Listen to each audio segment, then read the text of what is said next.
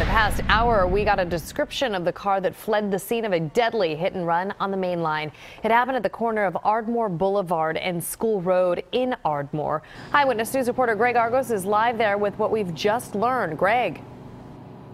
Yeah, Jessica, police officials are actually searching for a the driver of a white Jeep Grand Cherokee who they say hit a 51-year-old man at this intersection around 5:50 this evening.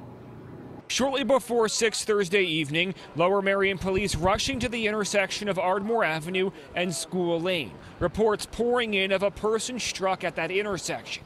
When officers arrived, they found that injured person and rushed the victim to Lankenau Hospital, where the pedestrian later died. What police did not find, however, is the driver, who they say fled the scene. Why would you want to like live with that for the rest of your life? Jay Breslin works just yards from the intersection where this deadly hit and run happened and says drivers often speed down this straight stretch of road. There's a crosswalk right there, but people just yeah, you know, treat it like it's not even there. Like I've seen people before, like yeah, cars honking at pedestrians walking in the crosswalk, and it's like, dude, it's a crosswalk. Wait for the people to cross. Other people who live near the scene I'm surprised it hasn't happened before. say they simply don't feel safe walking down the block. Because people just fly down here.